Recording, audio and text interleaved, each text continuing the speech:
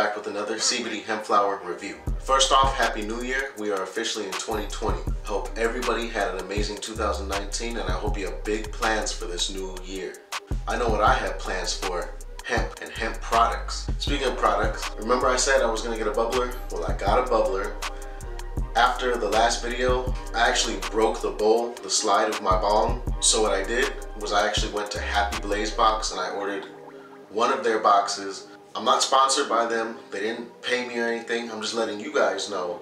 I got the Happy Blaze box. I got this bubbler. And I got all kind of other goodies which I'll put pictures of right here. You know, check them out if you want. So, I've really been waiting to review this company. This is Shade Tree Hemp Co. I don't know if you heard about it. It was started by a fellow Redditor, a really cool guy. He's very active in the community. He's the co-founder of this company, Shade Tree Hemp Co. Their stuff looks really good and I've been hearing all about it. It's supposed to be really high in terpene. Here's the box, discreet, doesn't say anything about hemp. Open it up. First thing, we got a notice to law enforcement. We got some test results. We have some cool stickers, they're actually pretty thick. Some like nice vinyl stickers, that's cool. Shade Tree Hemp Company. And this is what, man, look at this. I think this is so awesome. It's so unique. I haven't seen any other company do anything like this. Now I got three strains right here. I think it's all the strains they have at the moment. We got Benny, Kentucky Wine, and Sweet Leaf. Now I don't know much about any of these strains, so I'm just gonna choose based on the lab results. Whatever one's first is first. Let's see. Looks like we got Benny is first. Benny comes in at uh, 0.5 THC, 12.4 CBD. And the terpene percentage is pretty high. So let's see, we got Benny. And these have no smell. These are completely sealed, so I'm gonna have to break the seal. Still no smell.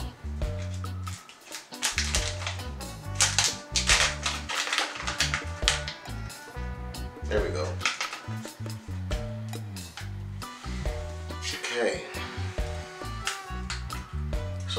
Benny has kind of a dank, sweet pine smell to it. Kind of almost smells like bubblegum a little bit. Nice size nug. Alright, now let me give it a little inspection. Let's see. The trim is adequate. It's not a super tight trim, but it's it's a it's a sufficient and definitely, you know, a good enough trim. Don't see anything yellow, dry or anything. That's that's just uh that's just a really pretty nug right there. Alright, I'm gonna go ahead and put a high resolution image of the Benny here. Check that out.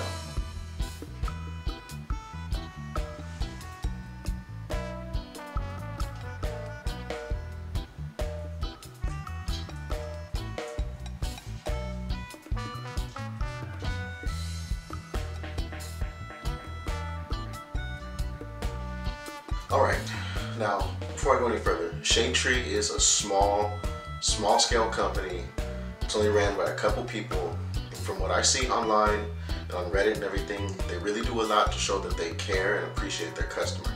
Uh, as far as I know, all this flower is outdoor grown. It looks pretty good. I got the bowl ready for the Benny. Let's go for it.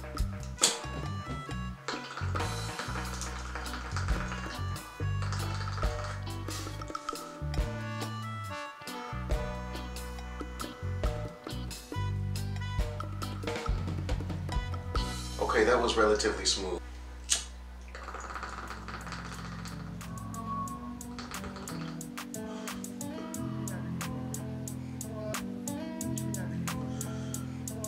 I don't get very much for flavor. It kind of tastes like hemp.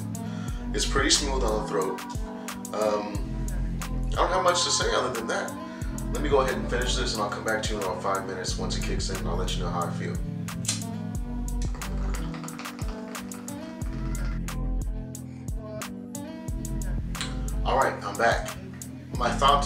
This is a very mellow, uh, probably just good all day strain. It's very mellow, very subtle.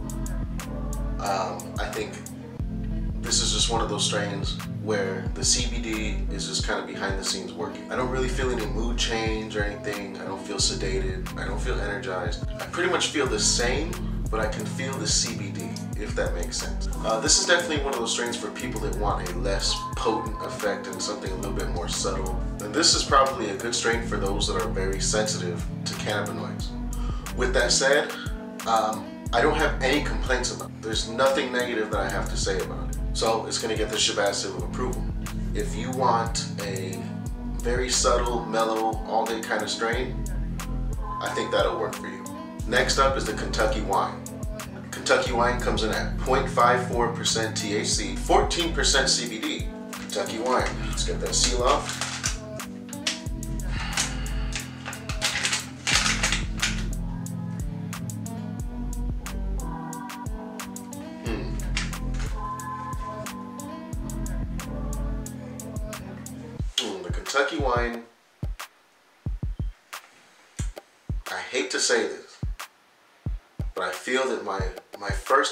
On this is that it's not done curing.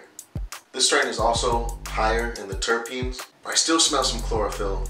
I just, I feel like it is not done curing. Nice, pretty nug, it looks good. Get my inspection going. I don't see any seeds. Uh, this is a more of a loose, airy nug structure. So the trim isn't super tight, but it's good enough for you know the kind of nug structure it is. It doesn't have big callus, calyxes or anything. So the bud, it looks good. It just is severely lacking in what I would consider uh, any kind of good smell. It, it doesn't smell bad. That's the thing. It just doesn't smell good. It's kind of like if you smell some chicken cooking that doesn't have any seasoning. It doesn't smell bad, but it doesn't smell good. It doesn't it doesn't make you say, mm, want that. Um, yeah. So I think I'm gonna go ahead and throw this one in the cure drawer for a few weeks and see how that can improve. I'm gonna go ahead and put a high resolution image of the Kentucky wine here.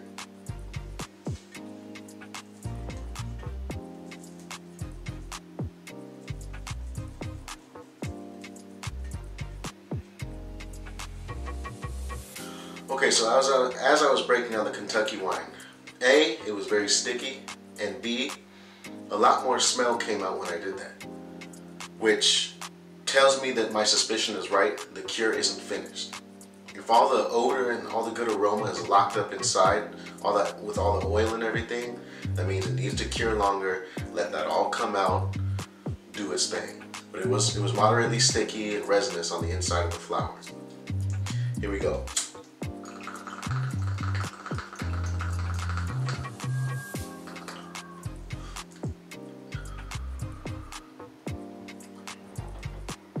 Pretty smooth. It actually doesn't taste very bad considering the cure. It actually, you know what? This tastes better than it smells.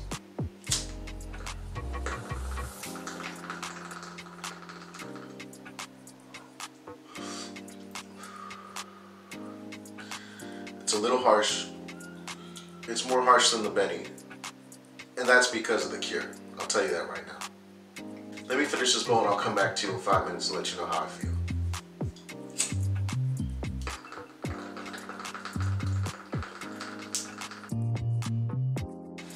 All right, I'm back. This made me think. While I was thinking, I was thinking, man, another good rating system that I could do is gas or pass. Is it gas or am I gonna pass? Just, I might implement that later on. The, the seal of approval is to, anyways. This one is a little bit more noticeable than the Benny. I can actually, I can feel this one a little bit more, just a touch kind of sedating, a little bit of pressure behind the eyes. Nothing too crazy, nothing overwhelming. I would still classify this as an all-day strain. It's pretty good overall. It's just the cure is unfinished on that. So I'm gonna have to go ahead and let that cure for a few weeks and see how I feel about it afterwards. I have a feeling it's gonna improve. Last but not least, we have a sweet leaf. The sweet leaf comes in at 0.6% THC, 15% CBD. So this is the highest CBD out of all of them. Wow, okay, now this one has total terpenes, 4%. That's pretty high. So if the cure is right on the sweet leaf, it should have a very pungent smell. Let me go ahead and break the seal and find out.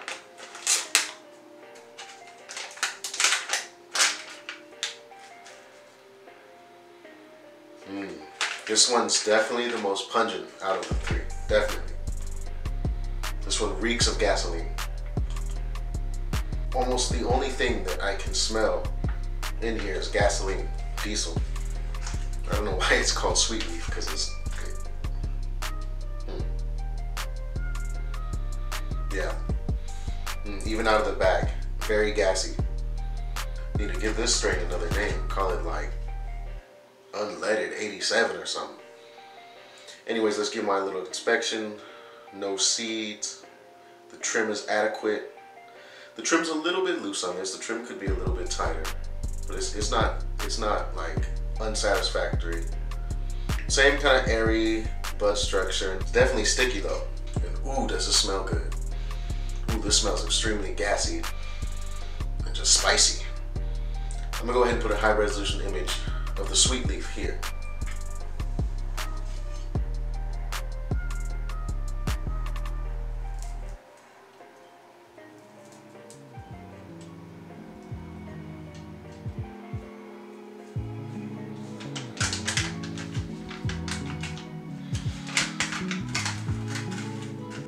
super sticky. I can barely get it off my fingers. My fingers are just, man, I'm anxious to try this. All right.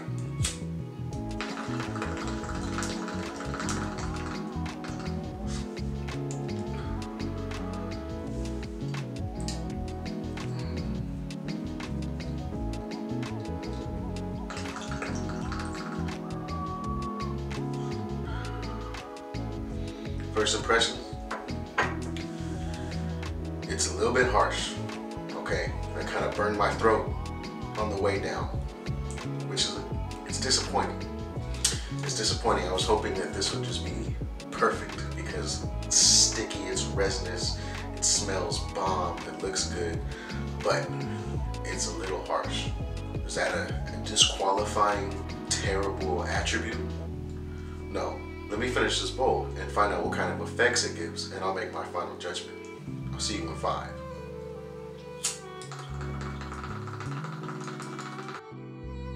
All right, I'm back. The feeling I have from this, I can describe it most as kind of pressure up here. It's not super subtle, it's not super potent or prominent, but I can feel it. The only issue that I have with this flower is that it is so harsh.